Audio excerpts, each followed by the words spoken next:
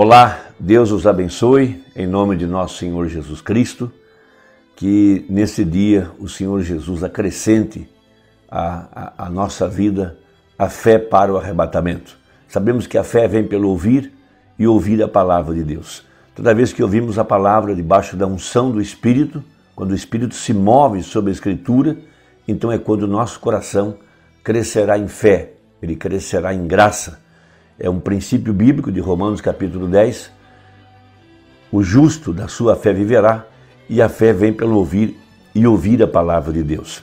Então nós sabemos que nesse tempo que estamos vivendo, Deus enviou a mensagem de Malaquias 4, a mesma mensagem de Apocalipse 10, 7, a mesma de Lucas 17, 30, que foi a mensagem do sétimo anjo que veio, veio manifestar o sinal do Filho do Homem, que é o mesmo sinal messiânico que Jesus manifestou quando esteve aqui pela primeira vez. Só que dessa feita, ele manifestaria esse sinal através do seu corpo, que é a igreja, porque a igreja foi tirada dele. Então agora ela é o corpo de Jesus Cristo, é através do seu corpo que ele se manifesta.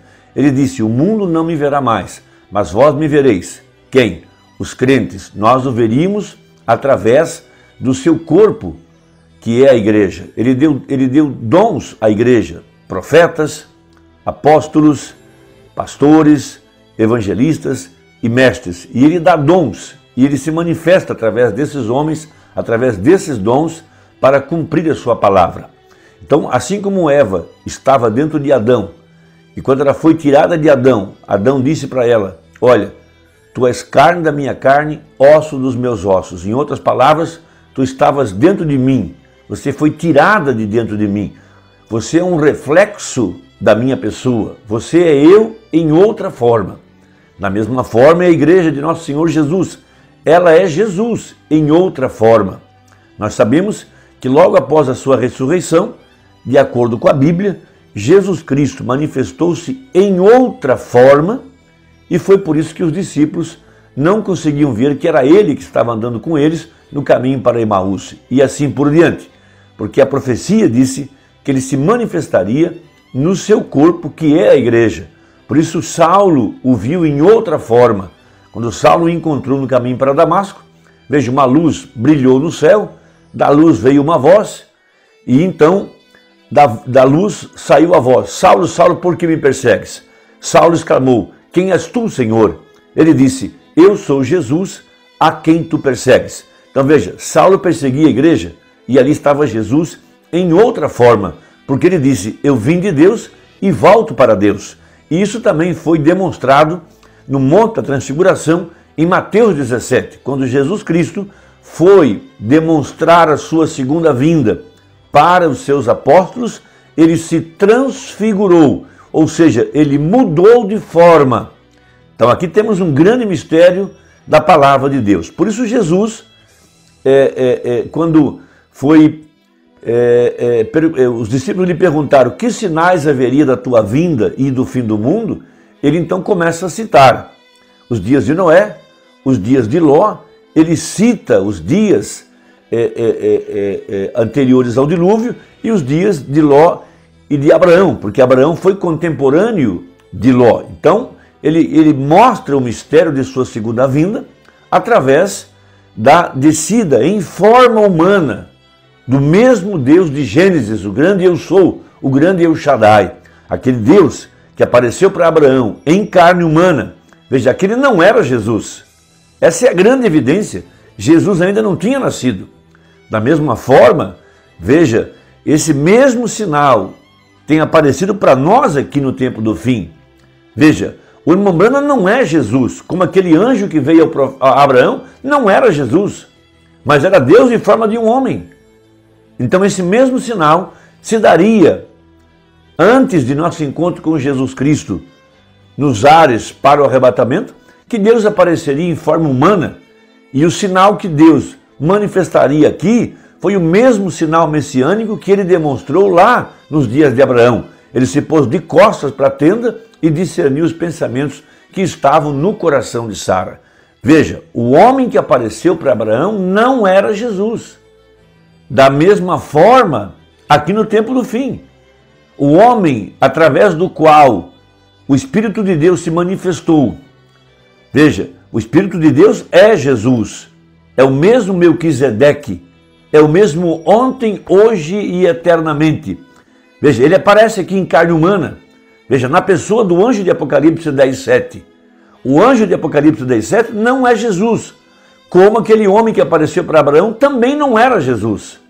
Mas aquele Deus que estava encarnado naquele homem que não era Jesus, veio aqui no tempo do fim, em carne humana, dentro de um outro homem que também não era Jesus. Essa é a profecia. E ele veio para manifestar os sinais de sua segunda vinda, porque o mesmo Senhor desceria do céu com alarido, com a voz de arcanjo e com a trombeta de Deus. Veja, só que agora ele viria através do seu corpo, que é a igreja. Ele desceria atrás de um véu, porque o, o plano de Deus sempre foi velar-se atrás de, carne, de uma carne humana. Veja, ele desce no Monte Sinai, lá uma nuvem cobriu a montanha, lá estava aquela o monte fumegando, havia um tremor. Veja, logo Deus desce o monte, agora encarnado em Moisés, velado em Moisés. Por isso que Moisés colocou um véu. Logo esse mesmo Deus vai para detrás de pedras de texugo dentro do templo e depois ele aparece em carne humana na pessoa de Jesus Cristo e desde então ele vem usando a igreja, o seu corpo, para se manifestar desde os dias da igreja do Novo Testamento. Então Mubana prega uma mensagem inteira para provar quem é este Melquisedeque que apareceu para Abraão, baseado em Hebreus capítulo 7, onde Paulo também mostra esse mistério, que esse homem era Deus em forma de um homem, era, forma, era Deus em forma humana. Deus, ele desceu do céu, tomou 16 elementos, fez um corpo, entrou para dentro e veio, e veio, apareceu visivelmente para ter comunhão comeram no vídeo cevado, pão com manteiga, com a semente real que era Abraão, para mostrar o mesmo sinal que ele faria aqui no tempo do fim. Era o mesmo Jesus, outra vez. Melquisedeque, veja, era a forma antiga de Jesus. Quem é esse Melquisedeque? É o mesmo ontem, hoje, eternamente. Veja, lá, ele, lá não era Jesus, mas ele estava na forma de um homem. Aqui ele também não é Jesus, mas está na forma de um homem. O mesmo Espírito que habitou lá em carne humana veio aqui no tempo do fim para tomar o corpo da igreja agora e manifestar-se de acordo com a profecia. Ele disse: O mundo não me verá mais. Por isso que quando Jesus veio pela primeira vez, os judeus conheceram qual era o sinal messiânico quando ele se manifestava e abria, abria esse mistério perante seus discípulos. Veja São João capítulo 2, verso, desculpa, capítulo 1, verso 43. No dia seguinte quis Jesus ir a Galiléia e achou a Filipe e disse-lhe: Segue-me. E Filipe era de Betsaida, cidade de André e de Pedro. Filipe achou Natanael e disse-lhe: Havemos achado aquele de quem Moisés escreveu na lei e os profetas, Jesus de Nazaré, filho de José. Disse-lhe Natanael: Pode vir alguma coisa boa de Nazaré? Disse-lhe Filipe: Vem ver. Essa é a, é a, é a coisa principal. Venha e veja com os, com os próprios olhos. Jesus viu Natanael vir ter com ele e disse dele: Veja, eles não, fizeram, não tinham feito nenhum contato. Mas quando Natanael chega, Jesus começa a mostrar o sinal do Messias para que ele pudesse saber que de fato ali estava aquele do qual Moisés havia falado. Eis aqui um verdadeiro israelita em quem não há dolo. O, homem ficou surpreso, ficou espantado, eles nem se conheciam. Então disse Natanael: De onde me conheces tu? Jesus respondeu e disse-lhe: Antes que Filipe te chamasses, te vi eu, estando tu debaixo da figueira. Então ali estava o sinal profético, o sinal messiânico, e eles procuravam por esse sinal para saber que ali estava o Messias. Então disse Natanael: Rabi, tu és o filho de Deus, tu és o rei de Israel. Imediatamente a semente real soube que ali estava o Messias. Então o profeta prega uma mensagem intitulada Quem é esse Melquisedeque? para provar que o mesmo Deus que visitou Abraão e que estava em Jesus desceu aqui no tempo do fim em outra forma. Como lá no tempo de Abraão não era Jesus, aqui também não é Jesus. Era apenas um véu humano que Deus estava usando. Então, na mensagem, nessa mensagem, parágrafo 158, ele diz: Agora, está prometido que nesses últimos dias, este mesmo Cristo voltaria aqui e se revelaria como filho do homem. Por quê? Ele é o mesmo ontem, hoje e para sempre. Se ele deixou que esses judeus passassem e lhes deu esse sinal de Messias, e então vem ao final do ensinamento dos gentios e os deixa simplesmente entrar com teologia, ele seria injusto. Ele tem que fazer a mesma coisa, porque a Bíblia diz em Hebreus 13, 8 que ele é o mesmo ontem, hoje e para sempre. E ele tem prometido em Malaquias 4 e todas as diferentes escrituras que nos últimos dias a igreja estaria exatamente como está hoje e como estaria o mundo. Olhe o mundo hoje, olhe a condição sodomita, olhe os terremotos em diversos lugares e as coisas que estão sucedendo, as pragas.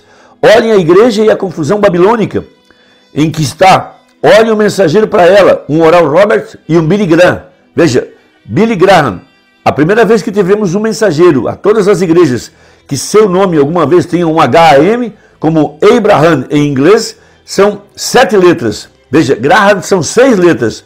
Onde está ele? Para o mundo. Seis é o número do homem. O homem foi criado no sexto dia, mas sete é o número de Deus. Agora vejam-nos ali embaixo em Sodoma. E ali estão seus mensageiros ali embaixo fazendo, falando com eles. Porém, onde está essa semente real de Abraão? Onde está o sinal deles? Que ele disse: Como foi no dia de Sodoma, que Deus desceu e se manifestou em carne humana e disse o que Sara estava pensando em seu coração atrás na tenda detrás dele. O último sinal, antes que o mundo gentílico fosse destruído por fogo, e a igreja ter recebido seu último sinal antes que o mundo seja destruído. Este reino gentílico pelo fogo e a ira de Deus. Creem vocês? Esse Melquisedeque estava em carne, apresentou-se em um corpo humano. Veja, e então mais tarde ele se fez carne. E agora, esta noite, ele é o mesmo ontem, hoje e para sempre. Veja, quem é esse Melquisedeque então? Ele é o mesmo ontem. Veja, nunca teve um pai, nunca teve uma mãe. Ele nunca teve nenhum princípio de dias, nunca teve nenhum final de vida. E ele se encontrou com Abraão. E que classe de sinal realizou ele? E então, quando ele se fez carne, ele disse que havia de repetir outra vez, antes do tempo do fim. Creem vocês nisso? Pergunta o profeta. Então, este é o grande sinal que Deus veio aqui no tempo do fim demonstrar para a sua igreja, para trazer a ela, trazer a ela a fé para o arrebatamento. Este é o segredo. Da mesma forma que aquele homem que veio a Abraão não era Jesus, da mesma forma, aqui no tempo do fim, o homem através do qual Deus manifestou o mesmo sinal, também não era Jesus mas o que estava dentro dele era Deus, era o Espírito para cumprir o sinal do Filho do Homem. Esse é o segredo. E é isso que está dando fé para transformação. Isso está crescendo dentro de nós a cada dia. Essa palavra que está em nós em forma de Espírito Santo está crescendo. Veja, e antes que o mundo seja queimado, essa igreja será transformada, como Abraão e Sara foram transformados para poderem receber o filho. O filho é Jesus. Veja, da mesma forma como Rebeca o encontrou nos ares, numa dessas manhãs, a igreja do Novo Testamento estará toda ressuscitada sobre a terra e juntos subiremos para encontrar o Senhor nos ares, o mesmo ontem, hoje e eternamente, que se manifestou momentos antes do arrebatamento momentos antes de nossa transformação, momentos antes de queimar a terra, manifestou-se em carne humana. Veja, era o mesmo sinal, o mesmo Deus que veio na primeira vinda, é o mesmo Deus que está aqui na segunda vinda. Este é o sinal, este é o segredo. Que Deus te abençoe. Se gostou, deixa aí o seu comentário. Se não é inscrito, aperte o sininho e compartilhe com quem você ama. Deus te abençoe e até a próxima se Deus quiser, em nome de Jesus. Amém.